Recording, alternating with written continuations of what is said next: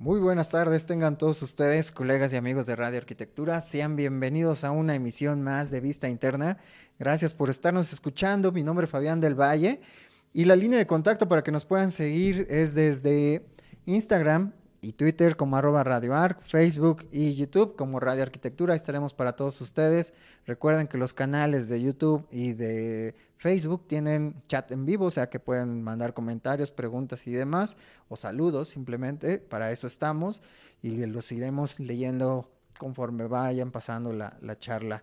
El día de hoy tenemos a Javier Ituarte, que un gran amigo que tenemos desde ya hace algunos años desde la ciudad de Guadalajara para todos ustedes. Mi estimado Javier, ¿cómo estás? Muy buena tarde. Muy bien, ¿y tú, Fabián? Muchas gracias por, la invitación, gracias por, también por la difusión que haces, eh, que es una gran labor ahí en Radio Arquitectura, con tantos años de experiencia y, este, y pues grandes anécdotas juntos también en algunos eh, encuentros, por así decirlo, ¿verdad? Así es, así es. Ya varios años también igual que no se hace encuentros, digo, más bien el año pasado que se hizo en Cancún, el antepasado que fue en Mazatlán, que ahí es donde tuvimos el gusto de, de, tener la coincidencia y de conocernos y platicar un poquito más al respecto de tanto lo que haces y que también igual hay una buena relación entre la música y demás cosas que, que tienes a bien tenerle ahí gusto.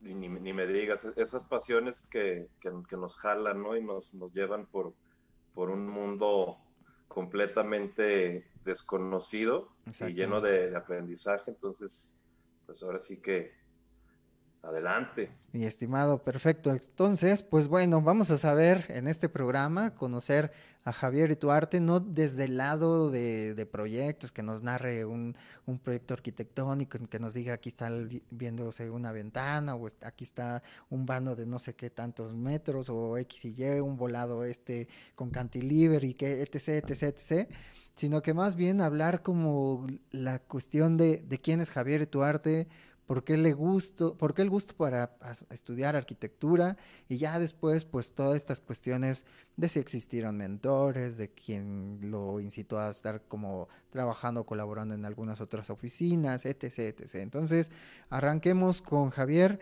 y platiquemos primero por qué tu gusto por la arquitectura, dónde se despertó y para qué te dio ese, ese placer de querer aprender de, este, de esta gran profesión, mi estimado.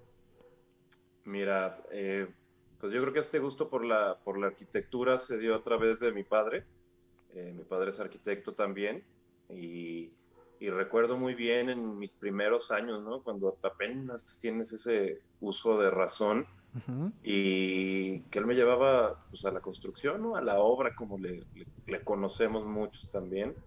Y, me llevaba y pues era subirme a los montículos de, de arena, los montículos de grava, eh, pues estar haciendo dagas, ¿no? Recuerdo una vez también que vimos un, este, una, un comal de, para, para, para, ¿cómo se llama? Calentar tortillas al lado de uno de los terrenos, mi hermano y yo, y, y pues ya ves, vagos, vagos desde, desde chicos, pues ahí hicimos algunas diabluras, ¿no? Maldades siempre se nos da esto de niños, ¿no? Que cuando, yo creo que esa es la primera parte, ¿no? Que tienes esa curiosidad por saber qué es lo que están haciendo los, los padres o los maestros o la gente que esté trabajando en algún lugar de la construcción.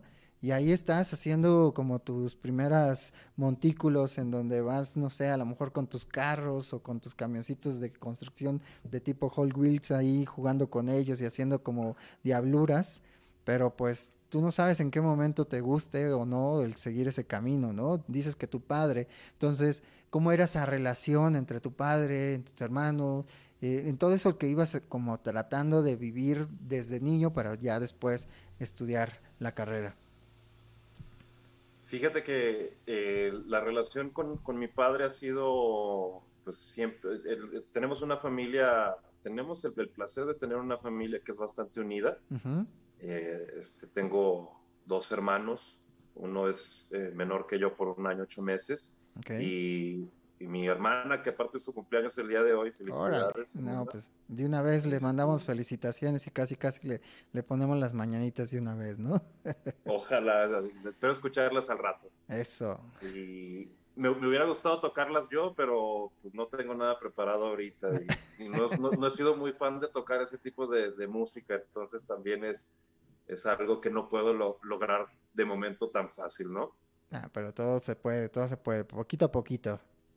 Así es. Y pues entonces eh, la, relación con mi padre, pues él fue quien me inclinó a, estudiar arquitectura, ¿no? Casi, casi, no lo decimos así, pero me puso la pistola en la cabeza así como que, arquitectura, ¿no? Y yo, ok, ok, ok, quería estudiar algo más. Eh, sin embargo, ahora con el tiempo creo que fue un, acierto el, haber estudiado la arquitectura y el haber seguido eh, sus pasos. Y, pues yo creo que esa relación también me ha llevado a, pues a, siempre estar aquí al pendiente de qué es lo que está pasando, qué se mueve y, pues todo yo creo que empezó desde, desde pequeño, ¿no? Agarré el lápiz y, pues este empezar a dibujar mis, mis primeros juguetes, ¿no? Me acuerdo mucho de las, de las tortugas ninja, ¿no? Era fanático de, de dibujar tortugas ninja. Ok. Pues prácticamente entonces también ahí viene tu parte del, buen dibujo, ¿no? Que eso también se te da y que tienes ahí una, un buen, una facilidad de generar croquis y que creo que también eso de los dibujos cuando eres niño, pues empieza a despertar esa creatividad y esa habilidad por querer dibujar. Ahí, ahí cómo, cómo viene ya entonces ese enlace, o sea, cuando estás ya en la secundaria, preparatoria, y que dices que tu padre es el que prácticamente es el que te está diciendo tienes que estudiar arquitectura, tienes que entrarle a esto, pero tú en algún momento que querías, no sé, a lo mejor hacer otra cosa que no fuera arquitectura? Sí, siempre me he inclinado más hacia la música. Eh, la música yo creo que sí puedo decir así de que es mi novia, mi esposa, mi amante y, y absolutamente todo, ¿no? La música siempre ha sido algo algo para, para mí bastante extraordinario, es una manera de, de expresar y de, de hablar un, un, este, un lenguaje intergaláctico, como lo diría eh, un amigo músico, y que pues, realmente es el lenguaje intergaláctico 100% comprobado de, de, la humanidad, ¿no? O sea, cómo nos podríamos comunicar de, pues no sé, imagínate, de estas ondas, ¿no? Que, llena de, vibraciones y, pues eso ha sido como, como mi comienzo, ¿no? Creo que también esta parte de, del ser tan clavado con la música ha despertado muchas inquietudes en, cuestiones artísticas y, pues eso ha sido increíble, ¿no? El, el estar compaginando lo que es la música, la parte del dibujo, la parte de la arquitectura y, y, y otras cosas que pues nos van llenando, ¿no? Y, es eh, que bien lo dices, ¿no? O sea, la música yo creo que tiene una correlación muy buena con la arquitectura desde la parte de la simetría, de la composición, del cómo generar un proceso musical y demás cosas. Creo que tiene que ver una línea muy, muy abierta o muy ligada en, ese arte, ¿no? De que podemos generar música con la arquitectura o arquitectura con la música. Yo no sé cómo lo has visto tú, pero yo creo que tiene que ver también con esa, con esa muy buena línea, ¿no? Sí, fíjate que, que, una vez conociendo también eh, todo este proceso de, de, hacer música, porque a mí lo que me gusta es hacer música, ¿no? Eh, me gusta escucharla, obviamente, y me gusta hacer música, que es lo que más disfruto. Y es pues es el crear, ¿no? O sea, estar creando y también pues estás creando arquitectura, estás creando algunos dibujos o bocetos. Sí, claro. Y, eso es lo que me ha dado la, música, ¿no? Yo comencé a tocar eh, guitarra alrededor de los 10, 11 años y junto con mi hermano empezamos a, tocar el, el, riff de, de Come As You Are, ¿no? y luego también cuál era otra que tocamos la bamba de, repente, y, cuestiones así sencillas, ¿no? Que vas agarrando el, instrumento y vas, vas avanzando poco a poco. Sí, claro.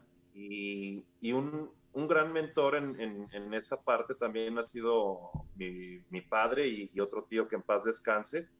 Eh, mi, padre de repente fue como que, mira, este, escucha The Doors, escucha Grand Funk Railroad, y hay una anécdota bien padre que, que de repente íbamos camino a San Antonio, eran estos viajes de, de 12 horas, 14 horas en, en, el coche, y recuerdo que mi papá se bajó a, comprar un, un, disco, ¿no? Y de repente llega con el disco de The Cure, que era el de Fascination Street y, y, sus remixes, ¿no? Entonces yo pone la canción a mi mamá no le gusta ese tipo de música, entonces íbamos en el coche y pone la canción de Fascination Street Extended Mix y fue así de que, órale, ¿qué es esto? Y ya pues desde ahí fui empezando a desarrollar pues un gusto por el metal, de ahí me fui metal, música electrónica, alternativa, eh, y pues ahora sí que me fui, me fui de lleno ahí uh -huh, hasta que entré a la, a la universidad, ¿no? Y, ya puse en forma mi carrera, bueno, ni tan en forma, porque la, la, la, fui llevando así pian pianito. Sí, sí, sí. Entonces, este, ha sido, ha sido un proceso bastante interesante y bastante divertido también. No te vas deteniendo en ese sentido, ¿no? Porque, digo, pones en pausa tal vez la música cuando ya estás en la carrera y en definitiva, pues dices, ¿ahora qué me voy a dedicar? ¿A ser músico o a ser arquitecto, ¿no? En este caso pero siempre te va acompañando de alguna manera, ¿no? Tanto yo creo que en, los, en las entregas, en todos los procesos que vas haciendo, tu proceso de, de, de, diseño, o ahí la manera de cómo simplemente a lo mejor hasta conceptualizar arquitectura con música también, ¿no? Puede como que ir a la par ahí esa, esa buena disciplina. ¿A, ¿A qué universidad asististe, mi estimado? Mira, eh, comencé en, en, el ITESO uh -huh. en el año 2000, ay, creo que fue el 2002, algo así. La verdad es que me gustó bastante la preparatoria, uh -huh. el bachillerato, y estuve un ratito ahí. Cuando entré al, al ITESO, pues yo también estaba con mis temas de música, ¿no? Y estuve cuatro semestres. Uh -huh, y, y, un día en una borrachera, mi papá lo, lo puede recordar, pues ya me voy a salir de estudiar arquitectura y me voy a dedicar a la música, ¿no? Y así como que, ay, y ya me voy. Entonces, eh, comencé a trabajar con él, ya directamente con él, y, y, empecé a agarrar otra vez este, este gusto por, por la arquitectura, ¿no? De esas crisis existenciales que de repente tenemos. Sí, claro. Y, y que son, este, pues, momentos oscuros, ¿no? En donde tienes que, que cuadrar absolutamente todo y y pues ver hacia dónde te diriges, ¿no? En este caso decidí dirigirme hacia la arquitectura y volví a entrar a, a estudiar, ya no entré al ITESO, entré a la, a la VM, de donde okay. soy egresado, uh -huh. donde he tenido la, la, oportunidad de también dar, dar clases, de hecho, algunos de, lo, de los alumnos que, que, han estado ahí conmigo han, han estado eh, colaborando, eh, excelentes eh, personas, y, y pues ha sido pues bastante interesante, ¿no? Terminé la, la, la carrera, uh -huh, la, uh -huh. la, universidad, junto con otros dos grandes amigos eh, que nos graduamos casi casi al mismo, tiempo. mismo tiempo. Me atrasé un poquito más también porque también me gustó mucho la universidad. Ok. Entonces, eh, pues ahí hemos eh, estado pendientes siempre de esta de este arte de, de hacer arquitectura, ¿no? Dentro de, de la universidad, ¿Hubo algo que te llamara la atención o por qué también te saliste del, de del ITESO? O sea, ¿por qué fue ese cambio de entre una y una? A lo mejor, digo, también puede ser con cuestiones per personales, pero también pudo haber habido algo ahí que te, que te dijera, no, no es, mi, no es mi universidad, por ejemplo. Um, si, si, te puedo decir, eh, yo, yo creo que seguro mis papás me han de estar viendo y van a decir, ya tiramos un semestre a la basura. Eh, el último semestre que estuve ahí en el ITESO yo estaba muy metido en, en, en la música, ¿no? Y tenía mi banda y hacía, to, hacía toquines y estaba ahí. Okay. Entonces, pues lo, lo, lo, único que hacía era ir a cotorrear a la, a la universidad, ¿no? Entonces, yo, yo lo, lo, que digo es, eh, pues agarré ese semestre y lo tiré a la basura por completo. Y, y pues también fue como que algo que, que, dije, ¿no? Pues yo creo que fue el orgullo también, ¿no? No voy a regresar a, a tener que repetir otras 12 materias okay. uh -huh. que ya había tirado a la, a la, basura, entonces también fue, fue como este cambio, ¿no? Y creo que muchas veces estos cambios también son son bastante buenos y, favorecen muchísimo la formación de lo que estamos logrando, ¿no? Claro. Entonces, de ir del ITESO a, la VM fue un contexto completamente eh, distinto, eh, un, contexto en donde también, pues, sí me, me, metí muchísimo más como en, a ver, ¿qué está pasando, no? ¿Qué, qué pasa con la arquitectura o hacia dónde, en dónde tengo que buscar? Porque en el ITESO no, no, no lo hacía, ¿no? Entonces, de alguna manera empezó como esa inquietud en mí de, de estar buscando y de, y de pues, pues sí, de, estar investigando más. Arc Daily fue, fue uno de los, este, de, las, de los buscadores de arquitectura que más provocó en mí, así como que dije, pues ahí hay mucha arquitectura, ¿no? Vamos viendo arquitectura. Y me empecé a, a, llenar de, de, esa información, ¿no? Y pues fue algo bastante bueno. Ya cuando entras ahí a la VM, digamos que definitivamente pues ya hubo un cambio entre, primero entre la, la, parte académica, ¿no? Ya las materias a lo mejor cambiaron, ya no son el mismo programa de estudios, ya como que tiene diferente visión o simplemente es un poco más, más ligera, no sé, también entre universidad y universidad hay una gran diferencia, ¿no? Sí, sí, sí, sí, eso es, eso es o sea, no, no hay duda de eso. Eh, la, la, carga era, era más ligera en, en, la, en, la, VM y eso también nos, nos provocaba a nosotros eh, el avanzar un poco más, ¿no?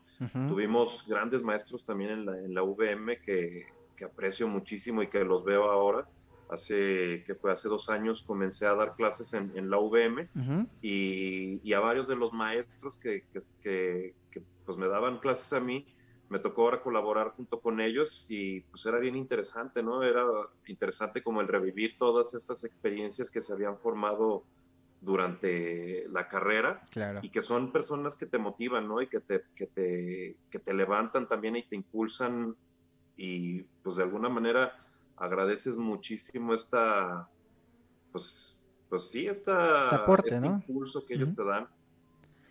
Ahí me imagino que obviamente los profesores te inculcaban algo, te decían algo, además de que pues vives en una ciudad que está llena de arquitectura y que pues tiene gente muy reconocida y que no solamente es Barragán, sino que hay muchas cosas que tenemos ahí en Guadalajara y que precisamente también te pudieran haber despertado algo.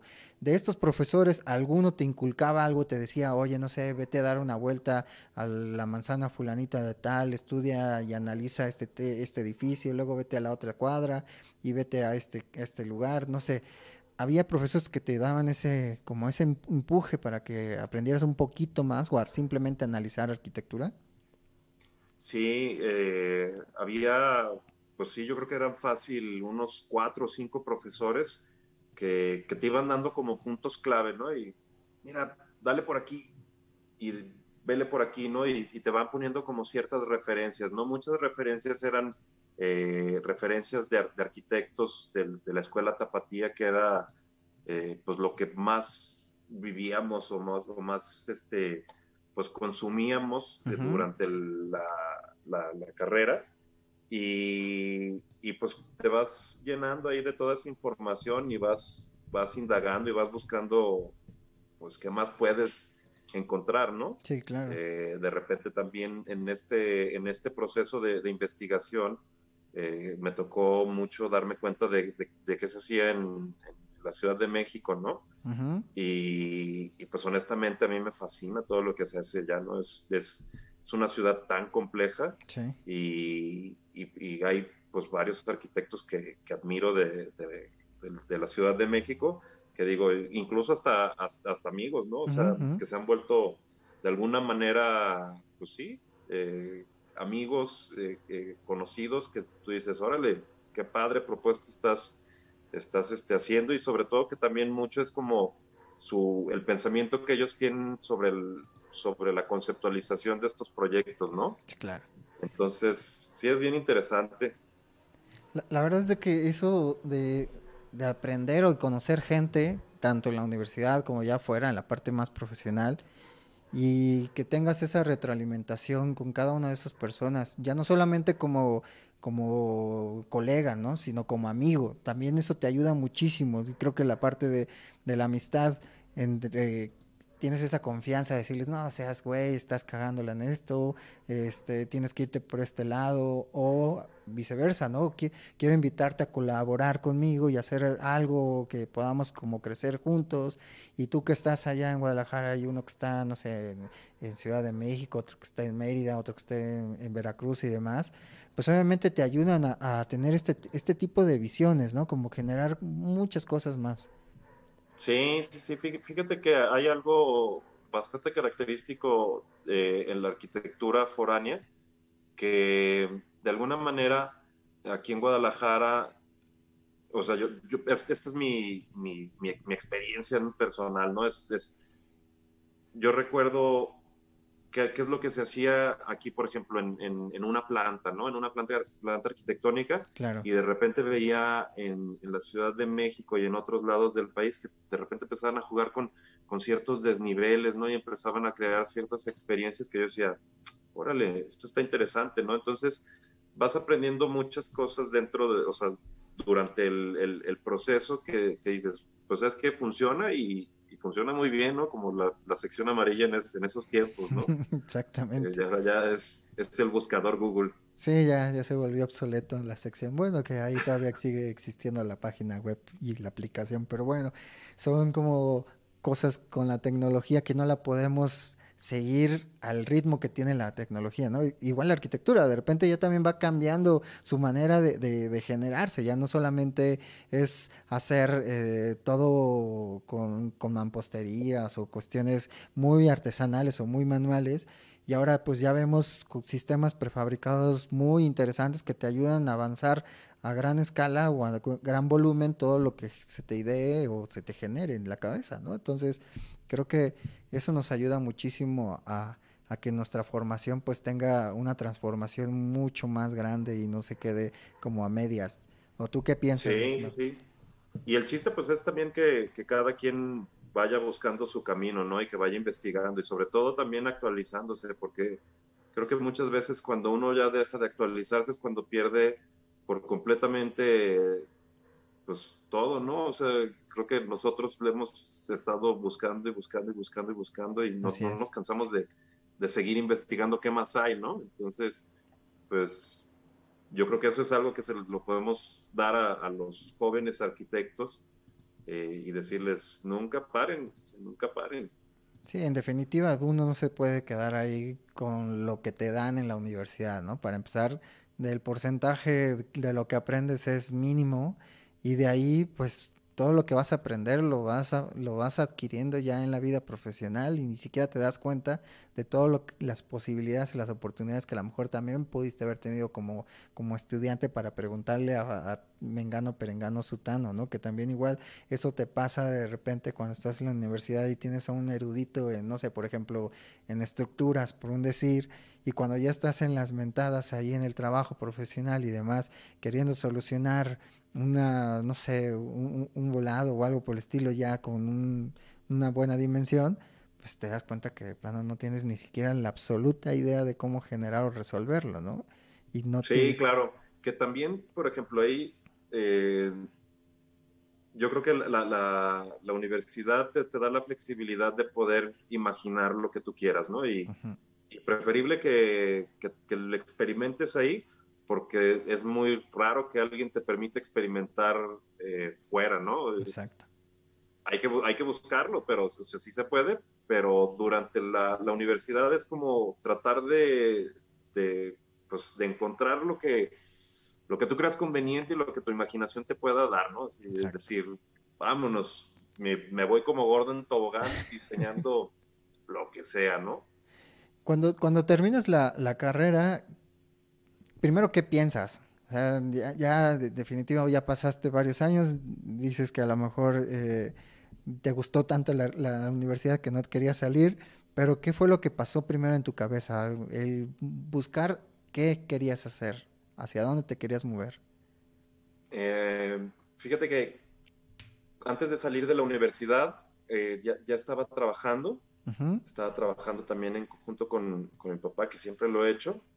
Eh, nos entendemos muy bien en, en, ese aspecto de, pues, él es construcción, a mí, pues, lo que más me gusta es el, es el diseño, ¿no? De alguna manera la construcción me gusta y me ha dado muchas bases para, para poder diseñar, pero pues sí, lo que yo disfruto es echar y tirar línea, ¿no? Estar ta, ta, ta, dibujar. Y, y, entonces cuando salí de la, de la universidad, antes de salir de la universidad empecé a hacer un despacho con, con, estos dos amigos que, que, que cursé la, la, la, universidad. Y también llegó un punto en el que, en el que dije, ok, otra vez en hold la arquitectura, me, me fui un rato del, del país y regresé y ya terminar y entonces fue cuando, por eso que me, que me atrasé y pues se dio la oportunidad de, de construir la casa de un familiar, okay. eh, una experiencia bastante sabrosa, llena de, de, aprendizaje y, y, pues ahí me fui, ¿no? Me fui, me fui, me fui, me fui, me fui y, y siempre he tratado de, de, de, hacer lo mío, ¿no? Porque uh -huh. creo que tengo algo que decir y prefiero pues hacerlo pues para mí, ¿no? Es como decir, ah, pues aquí está, esto es lo que yo soy, esto es lo que yo pienso y pues vamos dándole por aquí, ¿no? Te das esa oportunidad de, de generar tu propia oficina, de, de, no sé, de tener tu propio estilo, tu propia eh, metodología y demás cosas, ¿no? Y digo, yo creo que también lo que fuiste aprendiendo con tu padre o, o con personas que también te dieron como cierta oportunidad, lo adquiriste. Y eso pues, te, te, dio Así cierta es. ventaja, ¿no? Y qué afortunado sí. que, que, hayas tenido como esa oportunidad y que también pues tu padre te dé la confianza. Sí, así es. La verdad es que sí, les, les agradezco bastante y sobre todo porque los he hecho, he hecho pasar bastantes eh, tragos amargos por, por ser medio vago. Algún dolor de cabeza hermano, siempre pasa. Mi hermano era el cómplice ahí. De, de, a ver, Ismael, ¿ahora qué vamos a hacer? Siempre pasa, siempre pasa, pero no, no, no, como que no, nunca tiramos la toalla y siempre buscamos la manera de seguir adelante. Que por cierto, sí, ahí, así es. ahí, tienes algunos saludos, por ejemplo, de Carlos Armando del Castillo, que le mande saludos hasta Cancún. Mi, mi Gober, ¿cómo estás? Qué lástima que no nos vimos el año pasado, pero esperemos que ya el próximo nos veamos. También te manda saludos José Antonio Garrido, ahí eh, dice saludos, Ay, Master. El, el rudo pues para la gente que ahí quiera mandar un mensaje, un recordatorio o algo por el estilo que, le quiera hacer llegar a Javier, pues aquí andamos. Ya saben que estamos completamente en vivo. Para la gente que quiera seguir la línea y, el contacto, pues ahí está el chat tanto en YouTube como en Facebook. Cualquiera, pues lo podemos utilizar y podemos leer sus mensajes. Ahora, digamos que ya eh, empezaste tu primera obra y supongo que tuviste tropiezos. O sea, siempre lo que nos pasa a todos es eso. No? O sea, el error, del error aprendemos todos, ¿no? Entonces, ¿qué fue lo que te acuerdas que tuviste ahí como complicaciones y que dijiste, híjoles, no lo vuelvo a hacer, o lo vuelvo a repetir, o lo quiero intentar nuevamente y que te motivó a generar más cosas? Pues, híjole, no, no, no podría creo que no puedo cortar con los, con los dedos de la mano todos los tropiezos que he tenido, pero también ha sido algo que, que eso me ha, me ha llevado a, a, esforzarme más, ¿no? Y a, y, y a, buscarle siempre, ¿no? Siempre yo creo que, pero así que mientras no te mueras, uh -huh. eh, pues todo tiene solución, ¿no? Entonces, eh, pues eso ha sido lo que, lo, lo, que he aprendido de todos estos tropiezos. Y, y pues obviamente son dolorosos, son, eh, se convierten en depresiones, se convierten en N cantidad de cosas, uh -huh. pero, pero el chiste es tratar de verlos desde otra perspectiva, ¿no? Y, y ver que, que, de alguna manera eh, son tropiezos que te van a ayudar a, a trascender, ¿no? O sea, yo, yo creo que, y espero, ¿no? Que no lo vuelva a, a de repente a pasarse que voy a pasar más tropiezos, eh, pero sí ya buscas el, el ser más, más precavido y, e ir con más mesura trabajando y, y buscando que, que pues las cosas se, salgan, ¿no? O sea, que si yo puedo provocar que las cosas salgan bien, pues, que no quede de mi parte, ¿no? Exacto. Entonces, eh, pues sí, o sea, está, está interesante, es, es, es un sube y baja de emociones y, y ¿cómo se llama? Y, creo que eso es lo que le da el sabor a, a nuestra profesión y, y, yo creo que a todas las profesiones que existen, ¿no? O sea, si no hubiera tropiezos, ¿qué pasaría, no? ¿De dónde aprendes? Que justamente es eso, ¿no? en definitiva, yo creo que, no sé, por ejemplo, Candela, ¿no? Cuando esta iglesia de Palmira, ahí en Cuernavaca, que es una iglesia impresionante, con un, una hiperbólica, que, definitivamente, pues uno dice, pues oye, pues yo creo que la prueba y error, pues en definitiva, para él, pues era siempre. Eh, esa iglesia se hizo creo que dos o tres veces y era por una cuestión de que pues obviamente a él le encantaba hacer prueba y error. Se construyó la primera vez y se vino abajo y se demolió todo y dices, híjoles, madre santa, pues, ¿qué le, qué le hace, no? Lo repito, lo voy a hacer.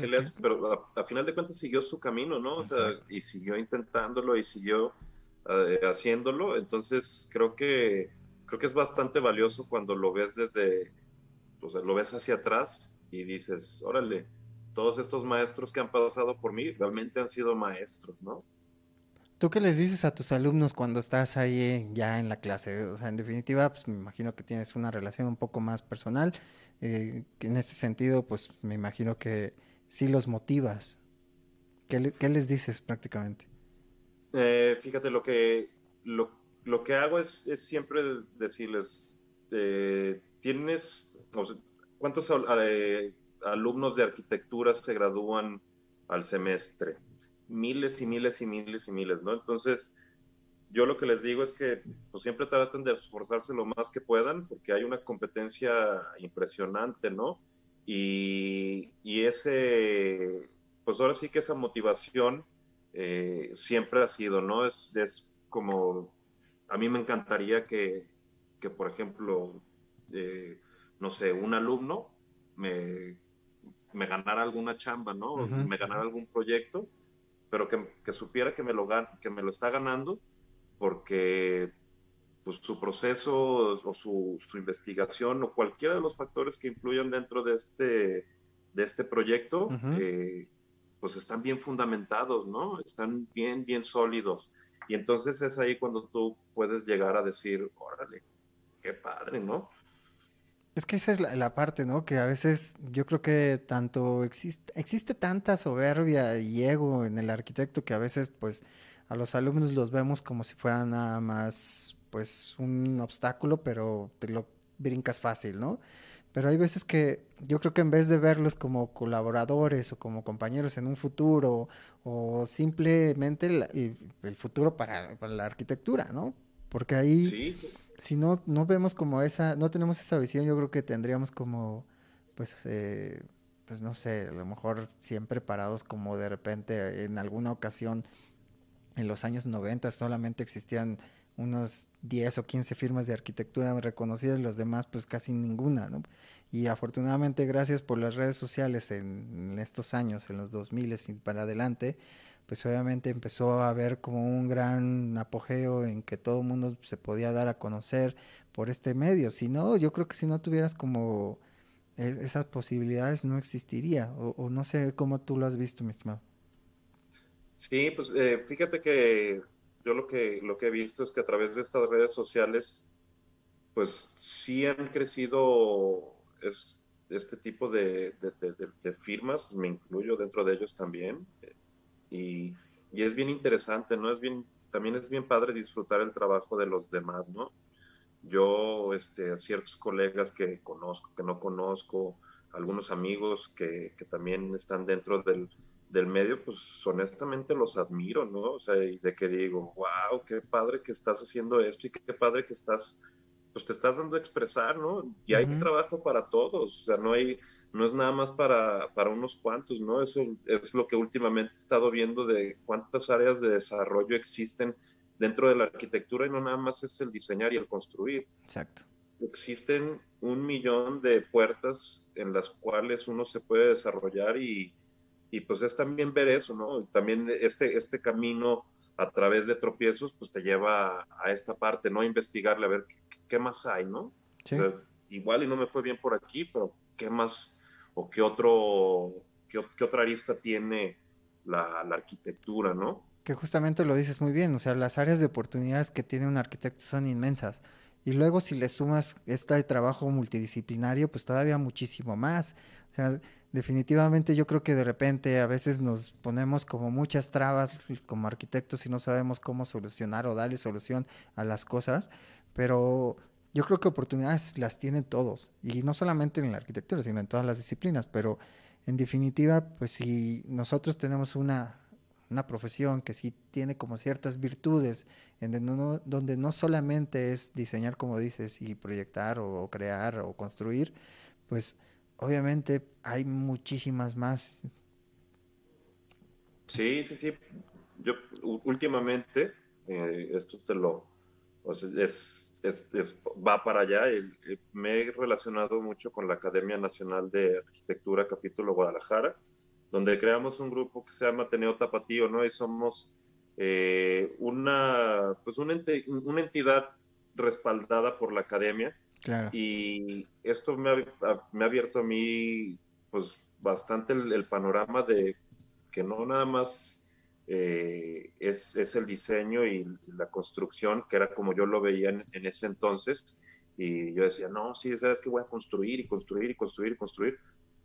Pero, por ejemplo, ahorita estamos trabajando en, preservar nuestro patrimonio, ¿no? O sea, este tema muy sonado de la línea 3, eh, donde eh, yo soy vecino de, una de las estaciones y de la noche a la mañana apareció una, una estación de, tren que, que, interrumpe la visual de, la, iglesia del santuario, ¿no?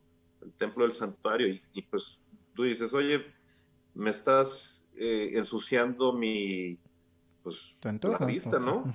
Y, y, entonces te vas dando cuenta de que existen muchísimas oportunidades. Eh, he colaborado con, con, todos ellos y ha sido una experiencia increíble y a final de cuentas pues vas aprendiendo, ¿no? Una, es, es una academia que pues es, es una...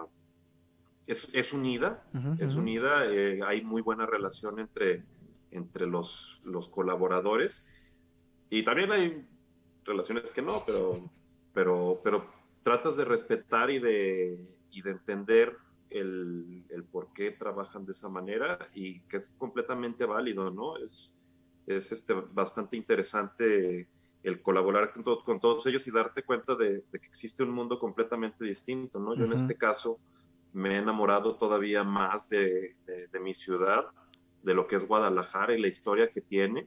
Eh, me he enamorado y me, me, he vuelto, pues, pues ahora sí que un freak de, de estar conociendo y, viendo, a ver, y esto se hizo en tal año, ¿no? Y esto se hizo en este otro, y esto se hizo aquí, aquí y tiene, tenía esta manera, eh, o, tenía esta forma en, un principio y se ha modificado de esta manera.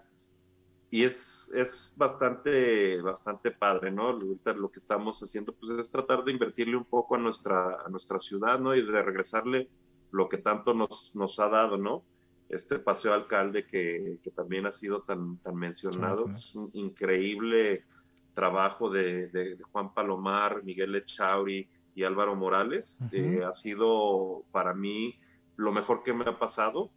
¿Por qué? Porque eh, donde se hizo donde, o, donde está ubicado, antes era la, calle 16 de septiembre, ¿no? Y yo siempre lo que les digo a, a, todos los que conozco, ¿no? Es, bueno, yo yo iba, me iba en camión desde mi casa, que estaba más hacia el poniente, y hacía una hora, una hora y media de, camino, dependiendo del tráfico, para llegar al centro. Y nos dejaba a mí y a mi hermano, y a veces a algunos amigos, en 16 de septiembre, y era caminar 16 de septiembre hasta Avenida La Paz, ¿no?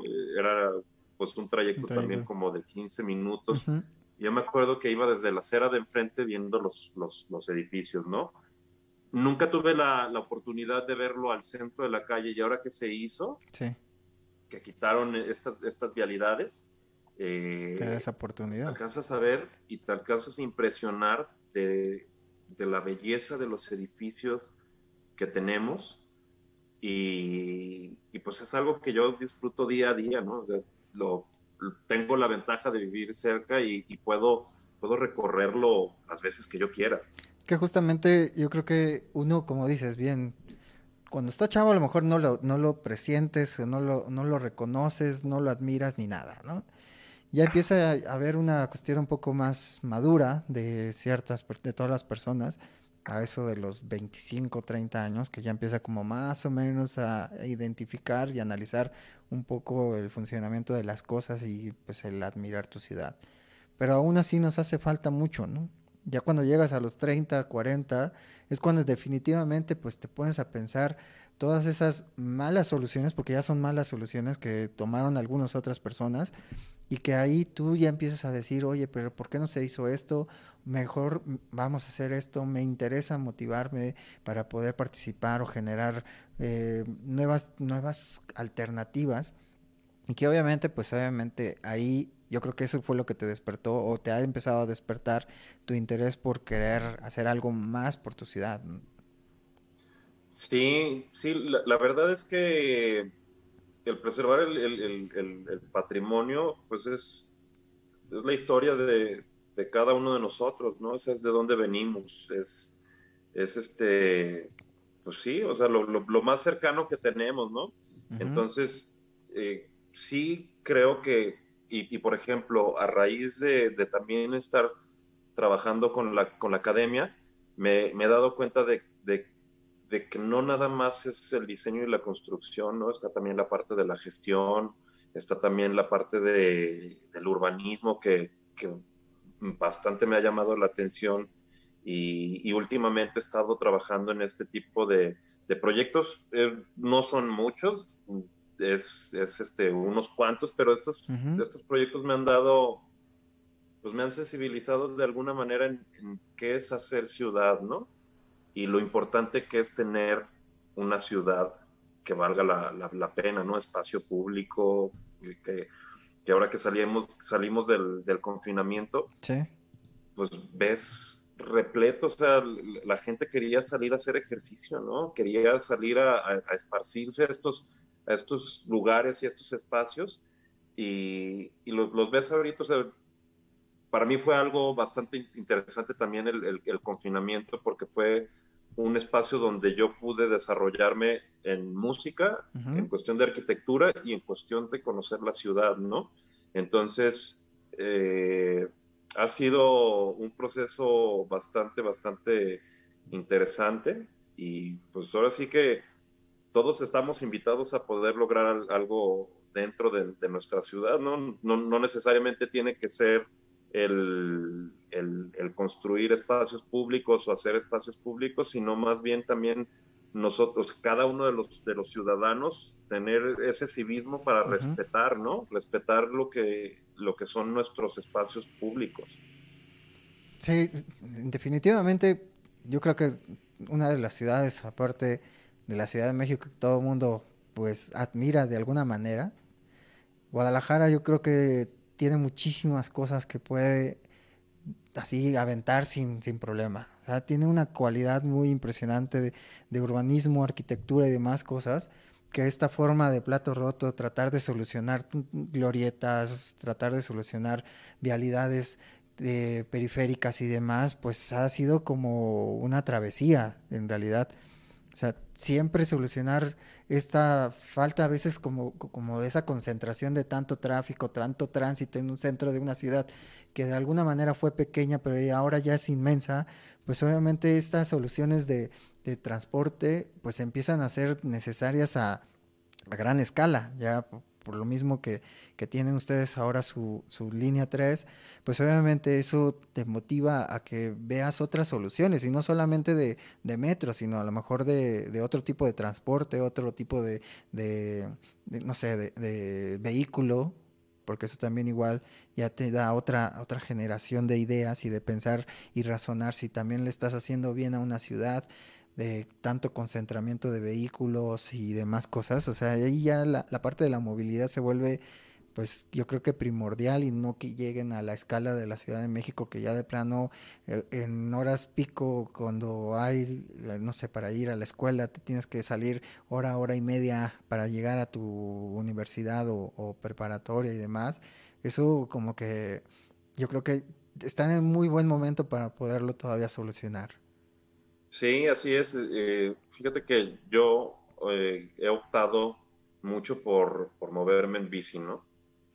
Y, todo nació a raíz de, estaba colaborando con, una amiga el, año pasado eh, en tu oficina y una vez saliendo de, la oficina me subo al coche, agarro este, la, pues, la ruta para llegar a, tu casa, mi casa, eh, y hice 40 minutos, ¿no? En un trayecto de dos kilómetros. Entonces, de que dije, a ver, ¿qué, está pasando aquí? O sea, ¿qué pasa? ¿por, qué voy a estar perdiendo 40 minutos dentro del coche cuando en bici puedo hacer 12, 15 minutos? Y eso cambió completamente, pues también la, la, manera de, de, ver la movilidad dentro de la ciudad, ¿no? Yo creo que estamos, Guadalajara está bastante atrasado en cuestión de, de movilidad y transporte vamos, la, la línea 3, pues qué bueno que ya se abrió, ¿no? Pero necesitamos una línea 4, necesitamos una línea 5, necesitamos una línea 6 para también empezar a dejar de utilizar el coche. Sí. Sí, y, luego yo veo también esta cuestión del de, poder adquisitivo de cada una de las familias en donde tienen tres o cuatro automóviles para una familia de tres personas y dices, oye, pues entonces quieres decir que todos los que están ahí tienen un auto, ¿no? Entonces, pues no sé, a lo mejor en vez de irse en un auto los tres, pues no sé, siempre quiere ir a veces irse, no, pues tú, yo me voy a la prepa con mi coche, yo me voy al trabajo con mi coche y yo voy a ir a comprar el súper por con mi coche. Entonces dices, ¿por qué mejor no se organizan entre familias y demás y con un solo auto, pues ya haces la solución de todas las cosas, ¿no? Digo, también a veces es complicado, pero pero también igual ese, ese, ese sentido que a veces tenemos como seres humanos es muy complicado. Sí, y, yo creo que también es, es, es, bien complicado en el sentido de que no tenemos un transporte digno, ¿no? Sí. es eh, otra cosa. Entonces, pues, ¿qué, ¿qué, buscamos? Pues siempre buscamos la comodidad, ¿no? Y, y, y, qué pasaría si tenemos este transporte digno, ¿no? Yo me he subido bastantes veces al, al tren sobre todo utilizaba mucho la línea 2, la línea 1 antes, y, y, es algo que tú dices, wow, estamos en otro mundo, o sea, ¿por qué nos, nos, nos metemos a siempre estar utilizando el, el, coche? Eh, porque es algo que, que, tú dices, órale, qué interesante, ¿no? Hace poco, hace, hace un, no hace poco, hace unos cuantos meses, eh, me subí otra vez a la, a la, línea 1 para ir a visitar a un amigo al, al sur. Y, y, pues se me hizo interesante verlo también después del, del, confinamiento, ¿no? Porque también había una manera más organizada de, de, moverte dentro del, de las estaciones, dentro de, la, de, las paradas y, y, dentro del, mismo tren, ¿no? Era, era completamente distinto, como que había este, cierta, o, cierta distancia entre todos y cierto respeto a, final de cuentas, ¿no? Que, que es lo, lo, que debemos de buscar, ¿no? El tener ese respeto por, por la persona que está al lado, ¿no?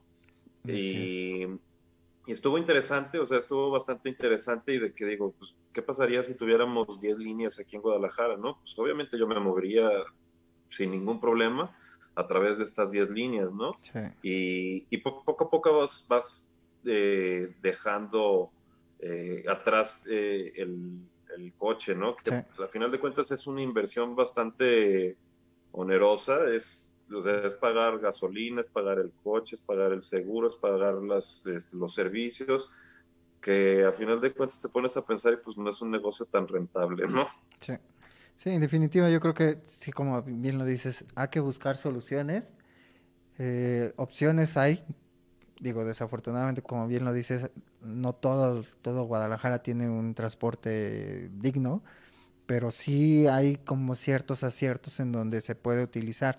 O sea, nosotros, por ejemplo, el año pasado hicimos un recorrido precisamente allá en Guadalajara con, primero con 10 chicos y luego con unos 40, yo creo que estudiantes o algo así.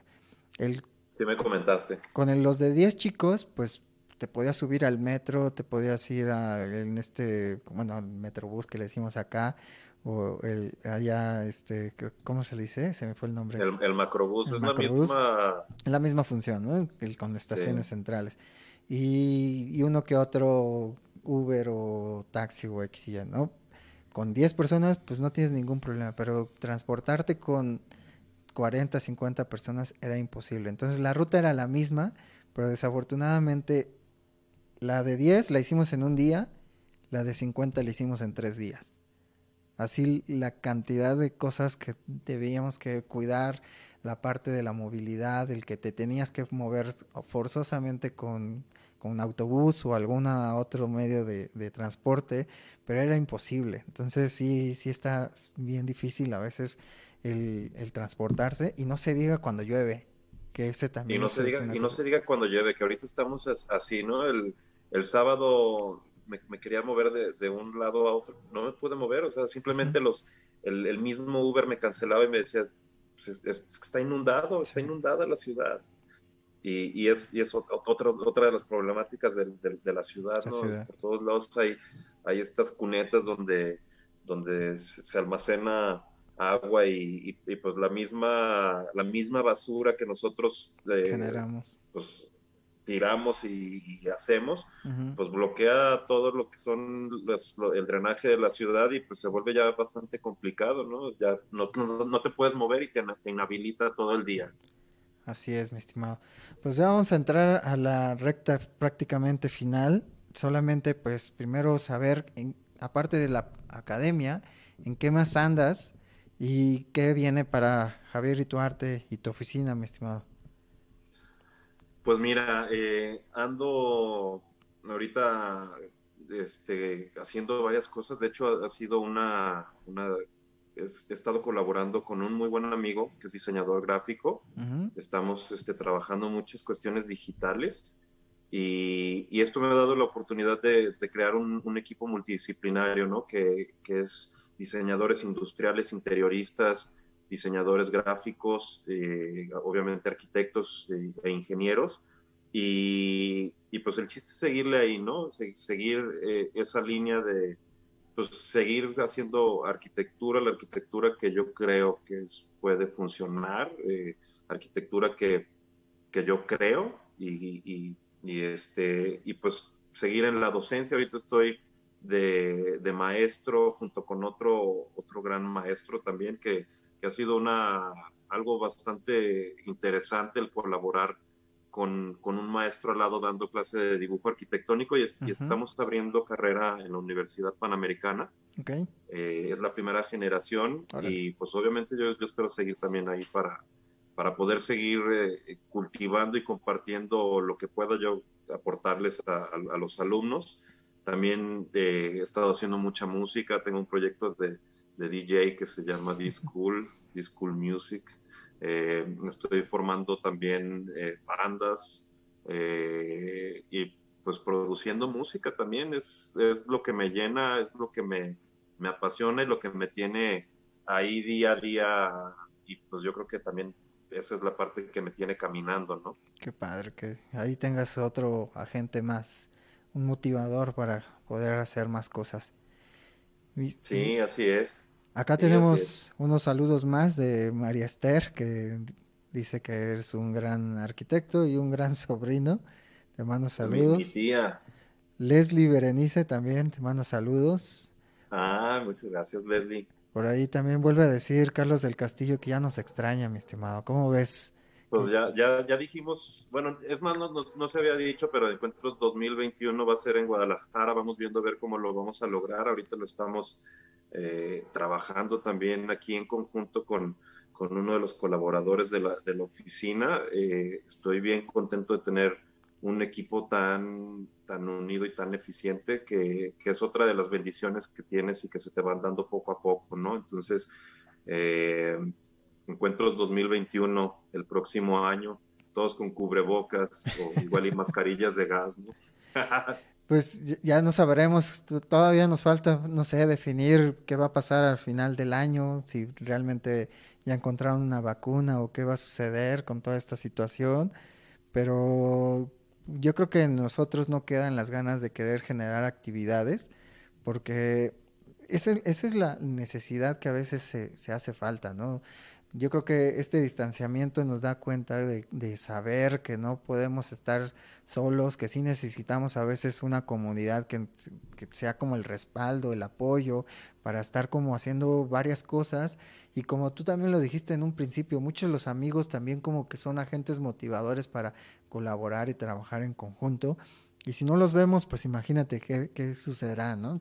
Entonces, yo creo que ese encuentro es 2021 nos dará una posibilidad de, nuevamente retomar este tipo de, actividades ya presenciales en donde volvamos a, tener esa interacción con la gente, con los arquitectos y demás, que obviamente pues te ayude a tener como cierta, cierta empatía por, por lo que hacemos, ¿no? Porque ya definitivamente pues la ciudad necesita muchas cosas y creo que en Guadalajara, como ya lo dijiste hace ratito, necesita muchas cosas que analizarse y experimentar. Entonces, pues si hay gente que está haciendo buenas cosas, por ejemplo, el buen Carlos con la ruta Nader o hay amigos y colaboradores de otras oficinas en la Ciudad de México, en Monterrey, en Tijuana, Mazatlán y demás, que también igual hacen labor de, de espacio público y demás cosas, pues yo creo que podrían servir como un buen agente motivador en esta gran ciudad de Guadalajara. Así es, yo creo que la, la, colaboración es, es la clave de, de esto y sobre todo porque es para todos, ¿no? O sea, tanto es como para, para gente de aquí de Guadalajara, como para gente de la Ciudad de México, para gente de Mérida, para gente de Mazatlán, Monterrey, eh, Yucatán. Es para, es para todos, ¿no? Son nuestras ciudades, son nuestro, pues ahora sí que los espacios que vivimos día a día, ¿no? Y, y padre también ahorita porque si no se reactiva el, el, el turismo internacional eh, tan, tan rápido, pues aquí tenemos muchísimas alternativas de, de, esparcimiento, ¿no? Efectivamente. Yo creo que no tenemos que tener miedo a nuestro país. Soluciones, opciones, hay muchas, pero pues simplemente el ver la manera de, de que nos den la oportunidad. Y si no, pues vemos cómo le hacemos, no pasa nada. Pues mi estimado, solamente pues agradecerte y pues obviamente que nos des tus redes sociales, tus contactos, donde te puede encontrar la gente. Eh, mira, eh, me pueden encontrar en, en, Instagram. Instagram yo creo que es lo que más muevo y sobre todo el, personal. He descuidado bastante el de la oficina, pero también es como un regreso de, de, la oficina. Lo había puesto on hold también, este, que de repente llegan esos, esos eh, lapsos que tienes que, que, hacerlo un lado. Y Javier Ituarte, arroba Javier Ituarte, arroba IX2 Arquitectura eh, ix2arquitectura.com y, y pues ahí me pueden encontrar y espero que también lo que les comparta sea de su agrado. Eso, mi estimado. Pues bueno, pues queremos agradecerte y pues tú no te desconectes ahorita. La gente que esté del otro lado, pues les mandamos unos saludos a todo mundo que se haya conectado y haya escrito el día de hoy. Nos vemos en la próxima de Vista Interna. Gracias, Javier. Nos vemos muy pronto. Gracias a ti, Fabián, y síguele con eso. Aquí le daremos con todo y pues muchísimas gracias, que tengan muy buena noche, descansen si pueden, si no, sigan con su noche de entrega. Nos vemos y mucho gusto. Un abrazo. Gracias.